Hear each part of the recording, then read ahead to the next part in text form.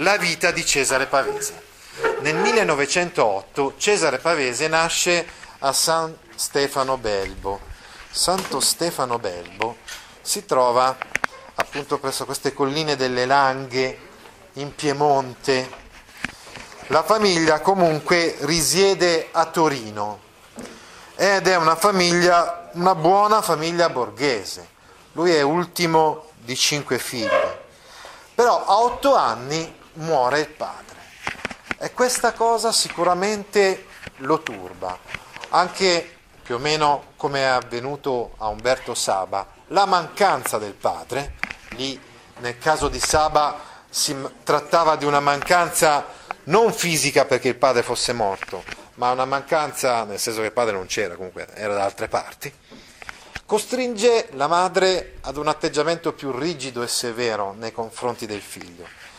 E quindi quello che un po' era successo a, a Saba succede un po' anche a, a Cesare Pavese. Quindi eh, una, si instaura una, una fragilità psicologica, lui trova sempre più difficile affrontare la vita, lo dirà nel suo diario, che infatti ti, ti, intitolerà significativamente il mestiere di vivere, cioè è un lavoro, è una fatica vivere in questa situazione, in questa condizione. Ecco, poi dopo eh, Pavese studia in città, ma quando è in città rimpiange la campagna. Voi che avete letto La casa in collina sicuramente vi ricorderete di questa antitesi fra la città e la collina, cioè, quindi la campagna e la collina, anche se quella era la collina torinese, invece le colline in cui lui è nato sono le colline delle Langhe, ma poco importa. Cioè, eh, Comunque c'è questa contrapposizione che comunque si badi bene è stata analizzata da, dal saggista francese Dominique Fernandez, il quale ci ha detto una cosa interessante però, perché è stato un po' psicanalizzato anche il nostro povero mh, Cesare Pavese, così come tanti altri autori eh, post mortem. Però quello che dice questo tale Fernandez è interessante. Infatti lui dice, Pavese, oh, Pavese manifesta molto precocemente due personalità, ma non riesce a farne coincidere alcuna con l'esperienza direttamente vissuta. In campagna si comporta da cittadino, in città da contadino. In tal modo egli non è soltanto sdoppiato, non è mai interamente se stesso. Ecco senza dubbio il primo sintomo del suo disadattamento, della sua incapacità di vivere. Ma scusate, ma come non farci venire in mente qua Pirandello, quello che abbiamo studiato su, su Pirandello, quindi sulla, sul doppio, no? sulla ambiguità. È un'ambiguità esistenziale che lui vive eh, in se stesso profondamente. È sempre disadattato, è sempre fuori di chiave, direbbe Pirandello, sempre fuori posto, fuori luogo. Quando è in città perché eh, rimpiange la campagna, cioè la collina, ma quando è in campagna perché è considerato un cittadino ormai, no? Quindi uno che non... Eh, comunque voi che avete letto La casa in collina avete colto nel protagonista Corrado, quel professore che ha dei caratteri sicuramente autobiografici, avete colto questo disagio profondo no? che vive. Dopo il ginnasio Pavese frequentò il liceo d'Azeglio ed ebbe questo maestro, Augusto Monti, che fu maestro anche di, di altri giovani intellettuali antifascisti. Augusto Monti è il professore di questo liceo d'Azeglio che diventa professore di alcuni giovani che poi saranno tra i più importanti intellettuali antifascisti, quindi Massimo Mila che poi scriverà la storia della musica e Giulio Einaudi che fonderà questa casa editrice che è molto importante, infatti come abbiamo già detto, infatti, ehm, scriveranno per questa casa editrice anche Italo Calvino e altri. In questo periodo approfondisce il suo interesse per la letteratura e in particolar modo per la letteratura americana. Ecco, diciamo che l'interesse per la letteratura americana porta ad un passaggio importante nella nostra storia letteraria, ad un cambiamento, una svolta, insomma. La letteratura americana infatti si, caratterizza, si caratterizzava per un maggiore realismo, anzitutto, per la prevalenza dell'azione, eh, sul, sulle riflessioni, eccetera.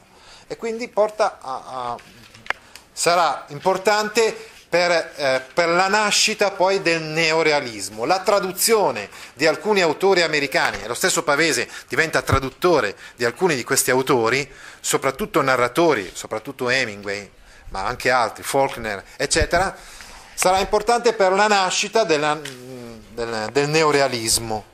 Lui però fece una, una tesi di laurea, uh, laurea scusate, su Walt Whitman, quindi sul poeta americano, però insomma era un americanista, traduceva testi americani e, e fece un'antologia importante, curò insieme ad altri un'antologia di questi autori americani e, e quindi diciamo, si crearono le premesse per un cambiamento importante anche a livello delle tecniche narrative. Lui frequentava, ovviamente abbiamo detto, persone che erano ostili al regime. Era però uno dei meno attivi, come avete visto anche leggendo La casa in collina, non era, con il nostro Corrado, insomma, non era una persona che si caratterizzasse per attività. Comunque venne trovato in possesso di alcune lettere antifasciste, in cui si, si parlava male del regime. E solo per questo fatto fu condannato al confino, quindi confino a Brancaleone Calabro, confino per tre anni, che poi dopo fu ridotto a un anno per buona condotta. Per un anno quindi fu costretto a stare lontano da Piemonte e, e in questo elaborò poi durante questo confino elaborò anzitutto alcune poesie, le poesie di Lavorare stanca sicuramente, e poi questo ispirò uno dei suoi primi romanzi che si intitola Il carcere. E, e intanto cominciò a scrivere questo diario che è il mestiere di vivere.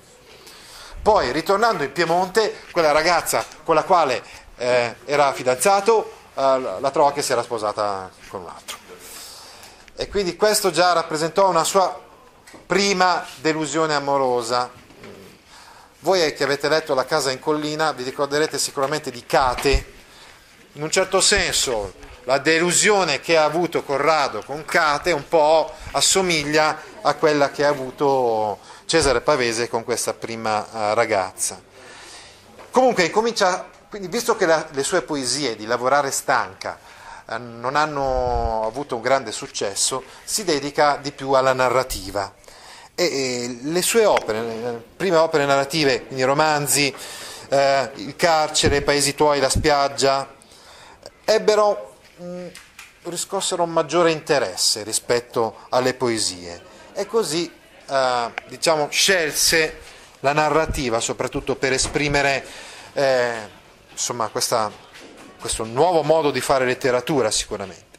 Dopodiché, durante gli anni della lotta partigiana, come ben sapete voi che avete letto eh, La casa in collina, anche lui, come Corrado, si rifugia, però lui si rifugia a Serralunga di Crea nel Monferrato, mentre invece Corrado, vi ricordate, si rifugia eh, presso la casa dell'Elvira in collina, nella collina to, vicino a Torino. No?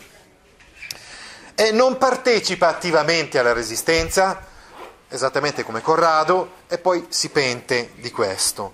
È come per, eh, per poter in qualche modo, eh, non so come dire, riparare a questo torto, si iscrisse subito dopo la guerra al Partito Comunista.